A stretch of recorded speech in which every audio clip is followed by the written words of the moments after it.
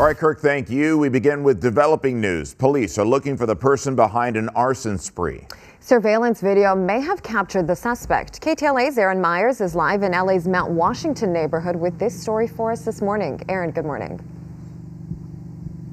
Good morning, Alina. Good morning, Chris. Officials say that there have been dozens of suspicious fires that have been set since early March, and now they're trying to find out who's responsible. Uh, you can see here behind me several trees that have been burnt here on San Rafael Avenue.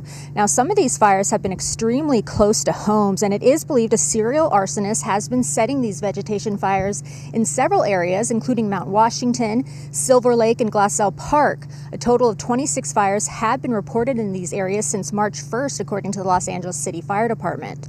This surveillance footage shows that possible serial arsonist. You can see the suspect walking towards trees near a home on San Rafael Avenue, not far from Avenue 37 here in Mount Washington. The person then runs from the scene as trees start to go up in flames.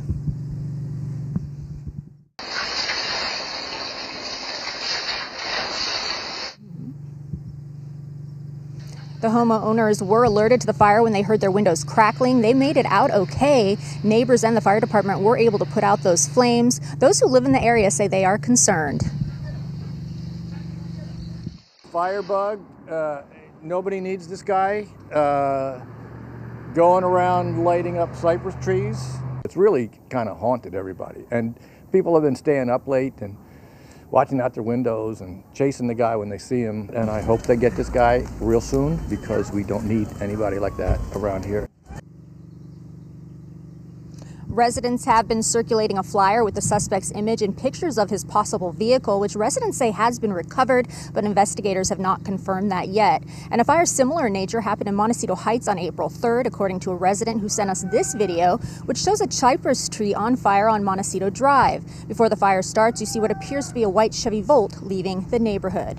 Now, back here live, as of now, there hasn't been any significant damages or reports of any injuries, but residents are concerned that that could change. Anyone with any information is encouraged to contact the LAFD. Reporting live here in Mount Washington, I'm Erin Myers. I'll send it back to you in the studio.